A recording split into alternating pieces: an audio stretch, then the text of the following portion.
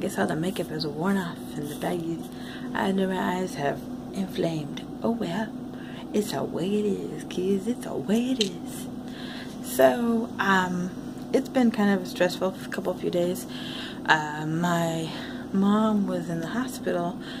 She's fine. She's home now, but um, she had some heart-related issues that needed to be addressed, and I think they've been addressed, and so we just have to wait and see if this works.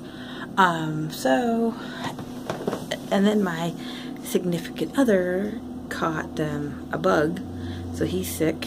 Um, so it, it's been a little bit of a stressful few days, and um, so luckily, luckily, uh, um, things are starting to calm down. He's starting to feel better. She's home, and and I don't, uh, I really didn't need to worry in the first place, but you know, you'd worry. So, um, I don't know if I did the hello Crustation. Hello YouTube, this is the Crustation swimming to you. If I did it already, then oh well, I did it again. But um, so I was thinking, um, it's been kind of recently that a bunch of scary stuff has come out, and I thought this is kind of early for scary stuff. I mean, that's next month. It's October, Halloween, and all that. So like, okay. But, uh, I'm gonna say, but, uh, look. Anyway, and that too. So it's storming over here, and I thought I'd tell a scary story. Now, this is a true scary story. Very true.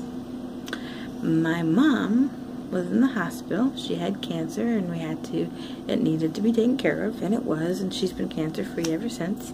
So, yay!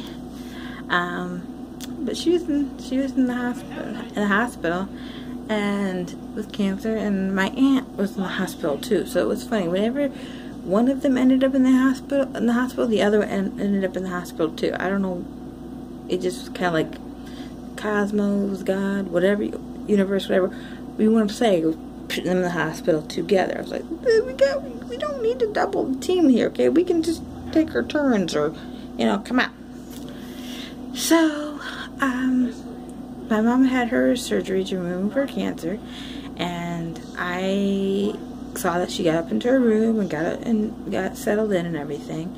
And I was like, all right, you know, she had one of those, I call it the magic buttons, you know, the magic buttons if you gave you after surgery to help with your, help with the pain.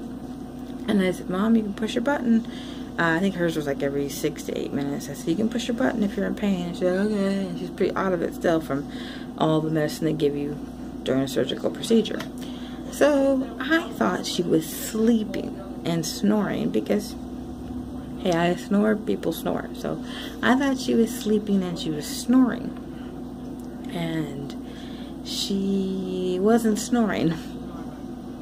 Um, if anybody's ever heard seen somebody pass away or somebody have great troubles breathing and stuff like that they make this like gurgling sound. And I didn't know. I had never heard it before. I was this was back in 2008. So it's been eight years. And it may have been 2007, but I think it was 2008. Uh, so I had never heard of that, heard that sound before. I mean, I have asthma. She have she has asthma, but I've never heard that sound before. So I just thought it was a snoring sound. Okay, like you know, it was just what it was. And so I didn't alert the nurses. I didn't know anything. I just told her, I said, Mom, I'm going to go get Faith. Because Faith was on, my aunt was on the floor, a couple floors above. So I said, I'm going to go get Faith and then we'll be back, okay? Okay. So I went, I pitter pattered my way to the elevators, took the elevators up to um, Faith's room, got her situated in a wheelchair, and started making my way back down to my mom's room. And I was like, okay, we're doing good. And all of a sudden I hear over the speaker overhead, whatever to call it, um, such and such room code uh, code blue, such and such room code blue. And Faith says to me, isn't that your mom's room? And I was like, no, it can't be my mom's room. She's fine. She wasn't fine. Not at all. And she she wasn't fine. So we get in, we get to her floor, and of course we keep repeating the code blue every so many minutes or whatnot. And when we look down, my mom's room was at the end of the hallway or the corridor or whatever, and I see all these nurses and aides and doctors kind of like doing the beehive thing around her room, you know, going in and coming back, going in and coming back. And I was like, what is going on here? What's going on here? We ain't gonna have none of these now. We ain't gonna have none of these. And so I told Faith, I said, buckle up because it's gonna get bumpy. So I pushed um, her down the um, hallway as fast as I could um, and kind of pushed her wheelchair off to the side and um, weaved in and out of the nurses and doctors to figure out what's going on with my mom and you know what was what, yeah, what was going on with her. Um, she had coded, which means she had stopped breathing, and they were close to putting an intubation in and close to putting some other things in. And what had happened is she's very sensitive. We, very, our family is very sensitive to medication, and she had gotten too much of a certain medication in her system, and it had suppressed her breathing. Okay, so she started coming out of it all on her um, on her own. If you hear the background, the significant other is talking to his friend. So, um, but if so, she she had uh, started waking coming out of it because they had given her every almost everything has a um, counter to it, and they had given her the counter to this medicine that that uh, that had suppressed her breathing.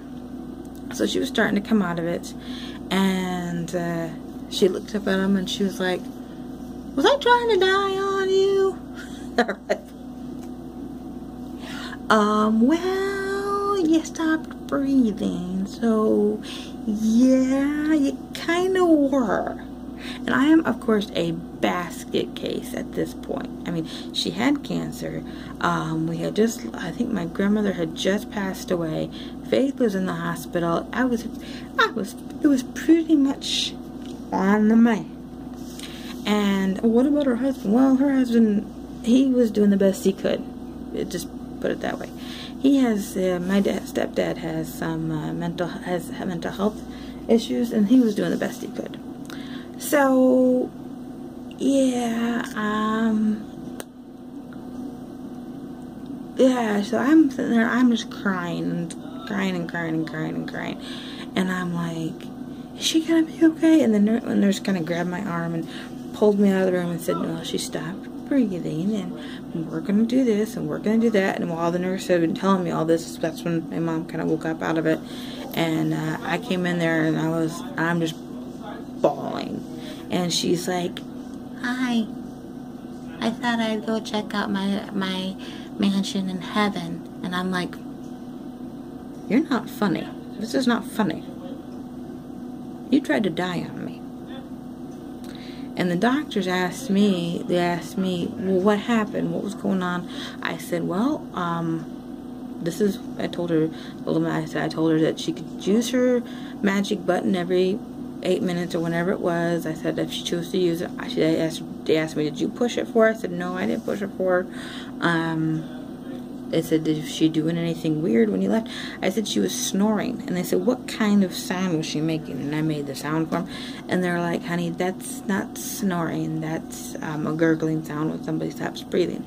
I'm like, oh. So I felt awful for quite some time about it because I felt like, well, I should have known that and um, got the nurses and did something right then. You know, I mean, obviously thinking logically about it, you can't do anything about something you don't know. And if you don't know about something and things happen, it's not your fault. You know, to a certain point, it's not your fault. So I was like, oh, okay. So yeah, I had a, um, she stayed in the hospital for about a week. Um, she ended up on the ICU for 24 hours and they put her back down to the regular floor. And then she ended up, um, oh, uh, in the hospital for about a week, came home. Had some had some other things to do with the cancer and the surgery, but generally ended up fine. You know. Um, so that was probably the scariest thing that has that that ranks up with the scariest things that have ever happened to me. Uh, so I thought since everybody's kind of doing scary stuff and and it's a stormy evening. I'm telling a scary story. Alright, well, thanks for watching, guys. I appreciate it. Catch you next time.